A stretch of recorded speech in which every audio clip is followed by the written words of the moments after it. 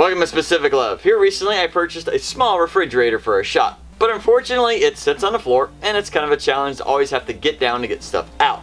So for this video I'm to create a simple, heavy-duty, mobile shop cart that I can sit the refrigerator on, but also have the ability to move it around and store stuff under it. Let's begin. Now for the frame of this project we should be able to use two 2x4s and cut all the pieces from there.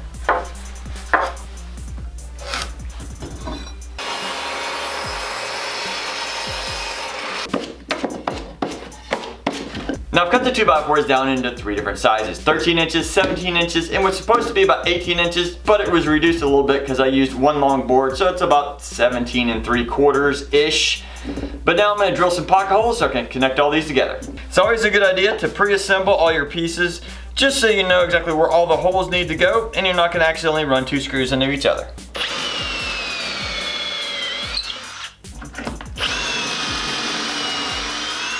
Now before we screw all these together, I'm gonna add a little bit of glue between each of these joints. I know some of this is end grain and that means it's not gonna be the strongest, but any kind of added support can help. It's always good to add a clamp whenever you're putting these together so they don't walk around.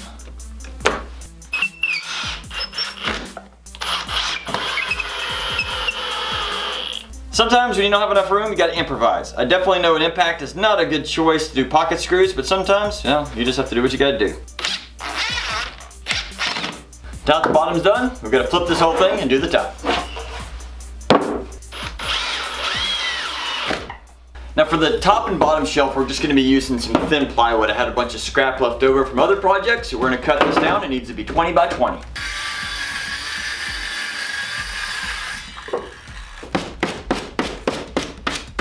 On the second level, I have to cut out some additional pieces. This is three and a half by one and a half. This way it'll fit around the legs.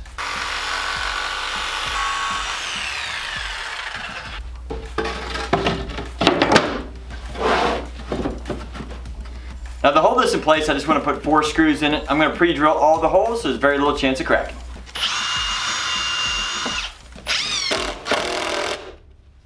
Now on the top we're going to use four screws also, but I'm going to use these in the corners because I just think it looks a little bit better on the top. Now I almost forgot I wanted to stain these shelves, so I'm going to take these back off real quick and stain them up. Now to help with realignment, it's a good idea to make some marks. So I turn this around backwards and do a straight edge here, and a straight edge there that'll allow me to easily realign it. Now before I put the shelves back on and this is a little bit more open to get to, I want to build a nice simplistic drawer right here on the front. So I'm going to use some 1x4s to do that.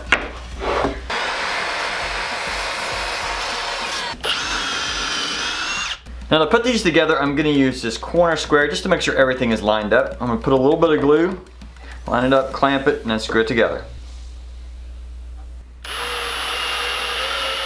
Now that I have the basic frame put together for the drawer, I just cut out a real thin piece of plywood and we're gonna adhere it to the bottom.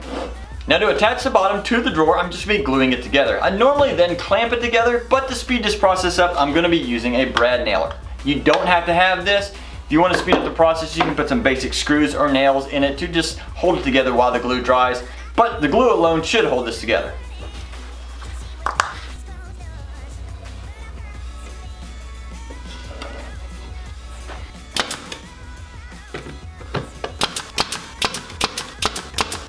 Now I'm to be putting a drawer in right about here, right at the top, and to do that I need to put some rails. So I'm just to use some 1x material and put a strip on each side. I've cut out a couple strips, these are to be the rails. I'm to pre-drill some holes so I don't split it.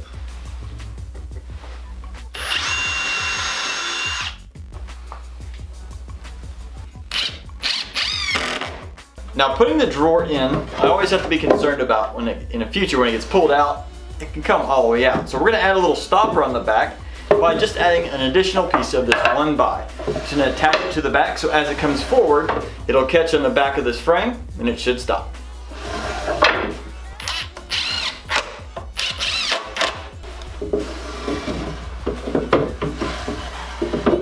Now if you look here, as I'm moving the drawer in and out, it's wanting to go side to side. So I'm gonna add an additional piece right here under it, and that should keep it pretty much in line.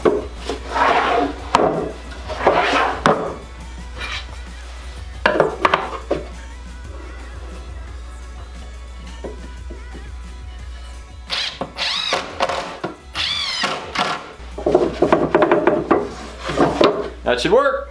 Okay, before I get this fully assembled, I decided I wanted to stain the front of this just to give it a little bit more of a pop.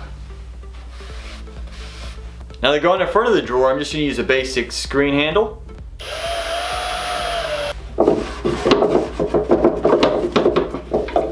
I realize I made a little bit of a boo-boo. I should have put this and secured it in place before I put this drawer in, but I made a mistake and now it's just a tad too big. So I'm actually gonna cut this right down the center. Then I'm gonna add this additional piece I've made right in here for added support, and that should work.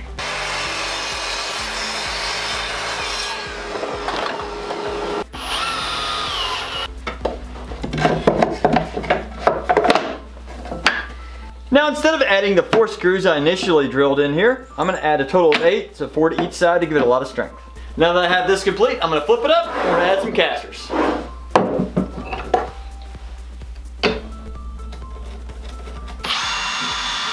It's a good idea to get all four screws fully in place before you tighten them down, otherwise this could move on you and just be a problem. All right. Hey! There we go. Nice and mobile. Extra storage drawer. Storage on the bottom. All right, let's go stick this under a refrigerator.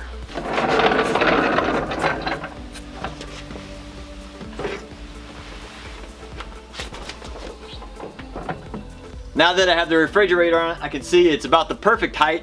I have the ability to move it around if I need to and lock it in place. And with the added storage, that's gonna work great too. So overall, I'm very happy.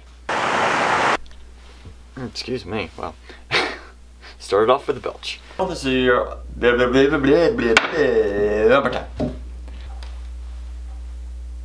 You ever suck your nose in, like stuffs up your ear? Are you recording? Oh, okay, awesome.